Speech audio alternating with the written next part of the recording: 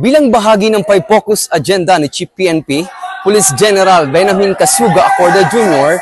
ay nakiisa ang bawat membro ng Regional Field Unit, Regional Mobile Force Battalion 10 sa feeding program dito sa covered court ng Barangay Bagokbok, Opol Misamis Oriental. Nakaisa rin ang bawat membro ng Regional Finance Unit 10 sa panguna ni Police Major Kevin Gaymara, Chief PCR at Regional Mobile Force Battalion 10. Tampok sa naturang aktibidad ay ang pamimigay ng lugaw, biskwit at flavored juice. Labis naman ang pasasalamat ng mahigit kumulang isang daang kabataan sa kanilang natanggap na tulong na pumawi sa kanilang gutom. Naging matagumpay ang feeding program sa pangunguna ng Team CDO 4x4 Club, ABCCA Educational Channel, Scone Words Unipruti, Habana Construction, Philippine Coast Guard, Philippine Coast Guard Auxiliary, Oro Photographic Society, Meadow Farm, Tosik Tosik, Department of Environment and Natural Resources 10. Ah, Nandito po tayo ngayon sa Opol Misamis Oriental. Sama po natin ang ibang national government agencies. Regional Finance Unit 10 po natin sa pamumuno po ng ating ah, butihing PNP Finance Service Director, Police Brigadier General